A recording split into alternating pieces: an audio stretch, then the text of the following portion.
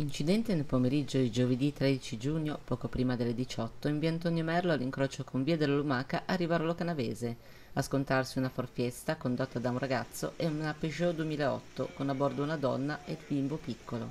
L'impatto è stato alquanto violento, fortunatamente nessuno è rimasto ferito. Sul posto sono intervenuti i vigili del fuoco volontari di Rivarolo Canavese per la messa in sicurezza delle vetture e i carabinieri per i rilievi del caso.